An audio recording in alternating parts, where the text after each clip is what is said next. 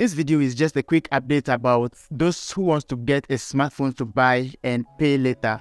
Now, if you have been watching my videos for some time, I did some few videos about how you can get Samsung Galaxy A series and some of the Nokia smartphones to buy and pay little by little. When I did the first video, a lot of people reached out to me and some people were able to get the phones they want. But some people too, unfortunately, because the phones they want are no more in the system, like I wasn't able to, you know, help some people get the phone. Some people too were interested in selling, but um, because of some one or two reasons, some people didn't get the opportunity to sell. But some people too, by the grace of God, they were able to get, you know, the opportunity to sell. So in this video, I'm going to give you some quick updates so that you know how to get your smartphone and know some of the updates that are going on so that you know if in case you are still interested you know you can get one of these phones. Guys what is happening is that samsung you know if they are producing phones and it reaches some time they have they will stop producing that particular phone. For instance if they are producing samsung galaxy s5 if you remember s5 they were producing it and they reached some time and they stopped. Then they picked a different one they stopped. Then they picked different one. Most of the phone companies, that's how they've been doing it.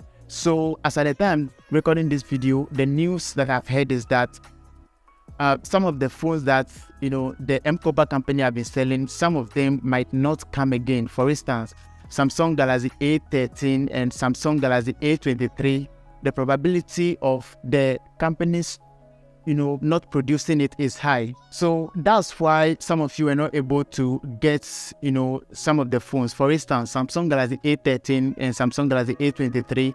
This is the main reason why, you know, those of you who requested for it, like this is the main reason why some of you didn't get it. So if you are watching this video and you are still interested, there's something, there's a good news about these particular phones.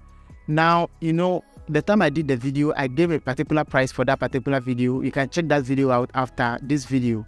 But now what is happening is that if they give the phones out to you and maybe uh, due to some one or two reasons you can't pay for the phone, you can bring the phone back to the office in good condition. So what they'll do is that they'll give back your money to you, your initial deposit that you make, they'll give it back to you. So they told some people to bring their phones back if they know that their job or their business is not going on well.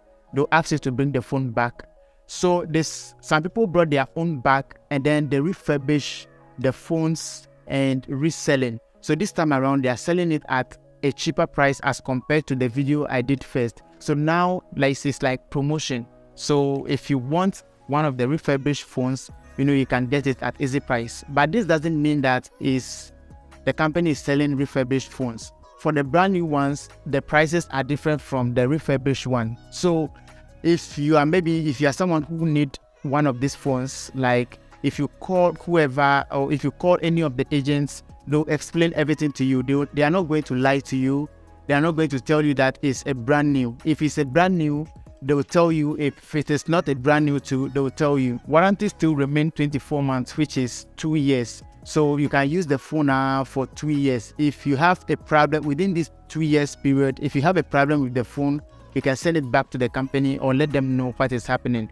So I did more videos about the M-KOPA phone, so I'll be leaving all these videos on the screen so you can take your time and watch. If you're someone who wants to sell, your video is there. If you're someone who wants to buy, your video is also there. So guys, you can check it out.